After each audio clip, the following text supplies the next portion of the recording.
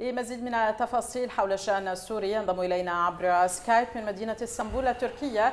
المتخصص في الشأن السوري ياسر النجار. أهلا بكم سيدي. مساء الخير. أهلا وسهلا.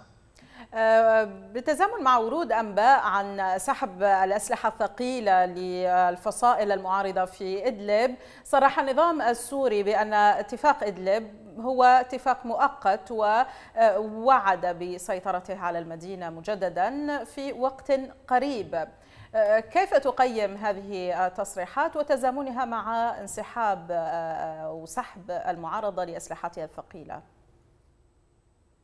يعني دعونا اولا نعود إلى الوراء قليلا. ما حصل في سوتشي هو كان اتفاق ما بين أعلى الهرمين سواء الروسي والتركي. أنا أتكلم عن اجتماع جمع الطيب أردوغان رئيس تركيا مع بوتين. وكان حصيلة الاتفاق ما, ما سيحصل في ادلب ناتج عن التوافق بين الرئيسين، اذا بشار الاسد لم يكن مدعو إلى طاوله هذا التوافق ولا حتى المعارضة السورية اصولا، وبالتالي أنا بتصوري من الواضح أنهم أصدروا رسالة أن من يتحكم بالمفاعيل الحقيقية في سوريا هي هو بوتين من طرف النظام وأن تركيا مفوضة من قبل المعارضة لكي تكون جالسة على الطاولة، هذا ابتداء.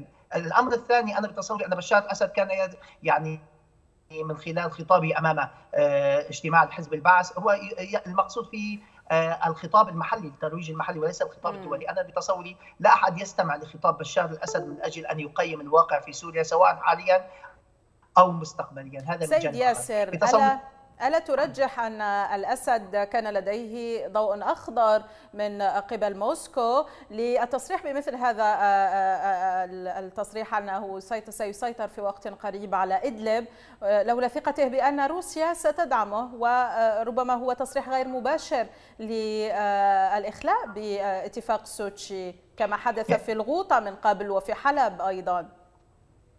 سأتفق معك حول أن بشار الأسد لا يمكن أن يصرح بمفرده مثل هذا التصريح، لذلك سبق هذا التصريح هو تصريح لبوغدانوف ممثل الرئيس الروسي في الشأن السوري، وبتصوري بشار الأسد وكانه التقط هذه الرسالة من بوغدانوف وأراد تسويقها محليا، أما بالنسبة للمقارنة ما يحصل الآن في شمال سوريا وما حصل في الغوطة أو في درعا فبت تصوري الأمر يختلف الآن، نحن نتكلم عن خريطة عسكرية ميدانية الآن آه، تفرض أمر واقع على تركيا كقوات عسكرية في الشمال، أمريكا الولايات المتحدة الأمريكية كقوات متواجدة في شمال شرق سوريا، وروسيا كمفوض بالملف السوري على المستوى السياسي وعلى المستوى العسكري، أنا بتصوري خطاب أردوغان كان واضحا أن القوات التركية وأصبحت الآن قوات وليس مجرد نقاط مراقبة، أنا أتكلم عن 6000 مقاتل الآن متواجدين بالإضافة إلى دبابات ومدرعات. وسيصل هذا الرقم خلال الأيام القليلة القادمة قبل تنفيذ الاتفاق إلى 12000 مقاتل أغلبهم من قوات الكوماندوس، اذا نحن نتكلم عن قوات عسكرية تركية، صرح الرئيس طيب أردوغان أنها لن تخرج من سوريا كما صرح ترامب سابقا إلا بعد أن يكون هناك حل سياسي شامل على مستوى الأراضي السورية، لذلك بتصوري لا يمكن لروسيا أن لا تقرأ هذا الخطاب وروسيا تعي حقيقة أن تركيا أصبحت شريكة في الأرض. وبتصوري بشار الأسد لا يمكنه أن يتجاوز مثل هذه القوات العسكرية أو يكون له أي دور عسكري. وقد سبق هذا الأمر تخلي إيران عن أي عملية عسكرية في إدلب. وبالتالي أنا بتصوري الرهانات السياسية الآن حول الملف السوري هي رهانات إقليمية دولية وليست رهانات محلية على مستوى بشار الأسد، إيران تحتاج تركيا وآخر ما تتمناه أن خلاف بينه وبين تركيا خصوصا بعد تطبيق العقوبات ابتداء من الشهر القادم العقوبات الأقصى على مستوى آه، إيران. وأنا بتصوري روسيا رضخت للأمر الواقع وخصوصا بعد أن شعرت أن الولايات المتحدة الأمريكية بدأت تدخل بالملف السوري من جديد وأنها ليست صاحبة الفصل في هذا الملف وبالتالي هي تحتاج إلى أن يكون تركيا أقرب لها من أن تكون أقرب إلى الولايات المتحدة. سيد ياسر يرى بعض المراقبين أن روسيا تسعى بطريقة أو بأخرى للانسحاب من اتفاق سوتشي. ما مدى صحة هذا الرأي؟ وإن كان كذلك كيف ستتأثر المعارضة من هذا بعد سحبها لمختلف اسلحتها الثقيله يعني أنا بتصور أن روسيا أصبحت المعادله لديها الآن تختلف، أنا أتكلم عن المعارضة العسكرية أو الثوار المتواجدون على الأرض. اثبتوا بشكل واضح وقاطع أنهم منسجمين مع القرار العسكري والسياسي التركي. نتكلم عن تواجد قوات عسكرية تركية ولم نشهد أي تجاذب ما بين القوات العسكرية التركية وأي فصائل سواء كانت متشددة أو إرهابية أو ما شابه ذلك، اذا نحن نتكلم عن حالة انسجام في المستوى الجبهة من طرف المعارضة هذه الجبهات عززت الآن بأسلحة ثقيلة تركية بالإضافة إلى أن الأسلحة الثقيلة بالنسبة لقوات السوار تراجعت إلى الوراء مسافة ولكنها لم تسلم كما أرادت روسيا ابتداء. إذا نحن نتكلم عن عنصرين وأصبح الملف التركي الآن ملف شريك ويعني متدخل وليس ملف ضامن كما أرادت روسيا ابتداء عندما بدأت بملف الستانة، أما روسيا فبتصوري هي ترضخ الآن إلى أمر واقع. هي لا تستطيع أن تتدخل في مناطق شمال شرق سوريا كون أن الولايات المتحدة الأمريكية عزفت عن أمر الانسحاب بشكل نهائي وهي ما زالت تحاول حول قضية المناطق الجنوبية في التنف، أما بالنسبة لمناطق الشمالية كما ذكرت فإن روسيا تشعر أنها لا تريد أن تخسر تركيا وبالتالي أنا بتصوري ليس بمقدور روسيا أن تنفرد بالملف السوري من جديد وخصوصا أن الولايات المتحدة الأمريكية صدرت مواقف على أنها عادت ولن تخرج إلا بعد أن يكون هناك حل سياسي وشامل في سوريا.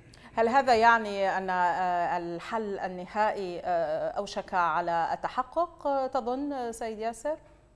بتصوري أن الحل الذي يرضاه السوريين أو يتمناه السوريين ليس هو المأمول وإنما الأمر الواقع هو حل دولي سيهبط سواء يعني بالتنسيق ما بين روسيا والولايات المتحدة الأمريكية وبوجود تركيا كأمر واقع أصبحت الآن على طاولة المفاوضات بتصوري هذا هو الحل الذي ستفرضه وسيكون هناك مباركة دولية له وهذا الاجتماع الرباعي الذي سيتم بإضافة سواء ألمانيا لمباركة مثل هذا الحل، إذا روسيا تعرف من جديد أن الحل السياسي هو حل يكون لها جزء من المنفعة والنفوذ وليس حل كما يريده بشار الأسد أو كما تريده حتى المعارضة السورية، وبتصوري أن روسيا يعني تتمنى الآن أن تنتهي المعارك العسكرية كون أنه لم يعد هناك مساحات للمعارك العسكرية خصوصا بعد وجود قوات التركية وعزوف القوات الأمريكية عن المغادرة.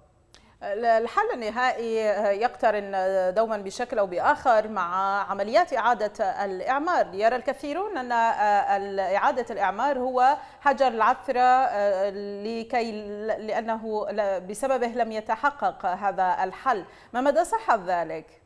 يعني سنربط الآن ما بين أن ملف إعادة الإعمار كما تريد روسيا تريد أن تصدر من خلاله ابتداء رسالة سياسية على أن الأمور انتهت وأن الأمور بخير وأن روسيا استطاعت أن تنجز عملية الحل السياسي. ولكن كما ذكرت سابقا صدم هذا النتائج أو صدمت هذه النتائج بقرار أوروبي موحد على أنه لن يكون هناك مشاريع لإعادة الإعمار إلا بعد أن يكون هناك إنجاز على المستوى السياسي. أنا أتكلم عن إنجاز سياسي برعاية أممية ومن خلال مظلة جنيف ولا أتكلم عن إنجاز من خلال سوتشي كما أرادت روسيا ابتداء. أنا أتكلم عن مؤتمر سوتشي الذي دعت له روسيا المعارضة السورية كما سمتها وكانت نتائجها في نهاية الأمر أنها توصي توصية باتجاه مسار حل سياسي يرعاه جنيف.